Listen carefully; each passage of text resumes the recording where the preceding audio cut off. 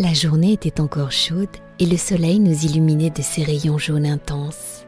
Il avait entamé sa descente dans ce ciel bleu de cette fin d'après-midi pour rejoindre l'horizon.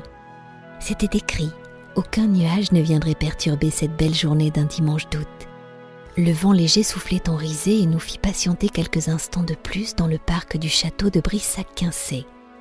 Famille et amis s'étaient réunis pour assister à cet événement tellement attendu. Formant des groupes et des fratries à l'ombre des bocages, les personnes se réjouissaient d'assister à ce spectacle qu'ils qualifiaient de merveilleux. Éole ayant apparemment décidé de jouer le jeu, réduisit ses allées venues intempestives au sol ce qui permit à chacun de s'affairer autour de la machine volante et de la préparer à se dresser majestueusement face au château.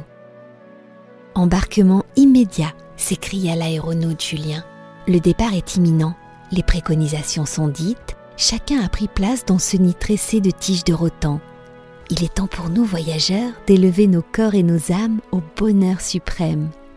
Nous contemplons notre terre d'un peu plus haut que d'habitude et ce départ vers ce lieu de silence nous enchante.